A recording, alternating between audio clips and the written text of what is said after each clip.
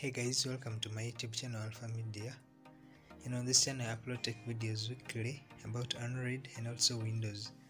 So make sure if it's your first time here, don't forget to subscribe at the end of this video and also turn on the notification bell so that you'll be updated each time I make a new video.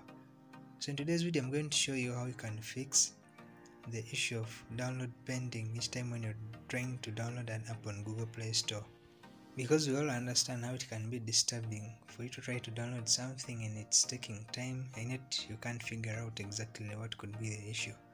So i'm going to show you that and uh, just follow me in this video and i'll take you through each and every step that you're going to make. And also don't forget to check the links of the previous videos in the description of this video that could still be of help. So without wasting time let's begin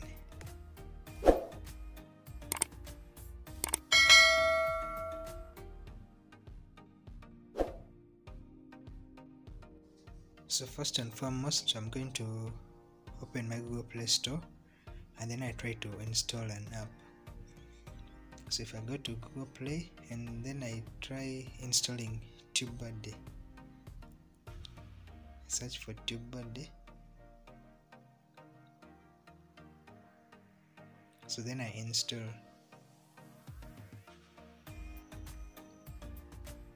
So as you can see it's pending so meaning however much you wait it will continue doing the same until you just give up. So if it is doing so it means that either there is an app already downloading in the background so you go to my apps and games. And then and uh, so from here we are going to check if there is an app that is also downloading.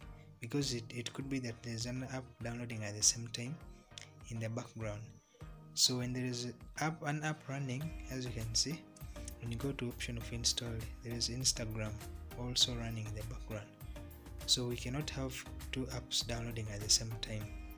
So you just remove that app and then you go back and you can check if there is any other if, if it's not there then you go back. So as you can see now it's downloading. Because we have cancelled the other app that was downloading so that is the first option checking if there is an app that is downloading at the same time. So if it is there you just go and cancel that app and then you come back. So the second one is you go to settings to your phone settings.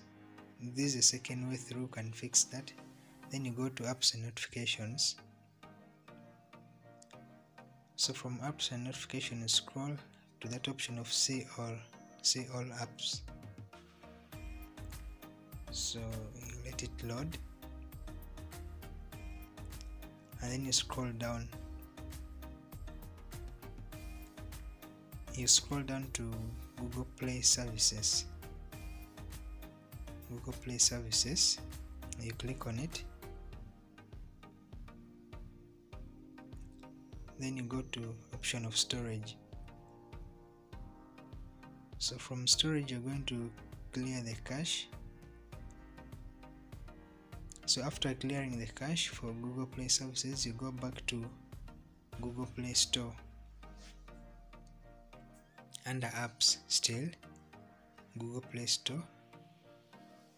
Then storage. And from storage you do the same. You just clear cache.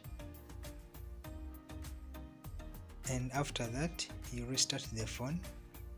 And on restarting you can go back and try downloading that app that you wanted to download. So i hope this video has helped you and don't forget to check these others on the left and right and see you in the next video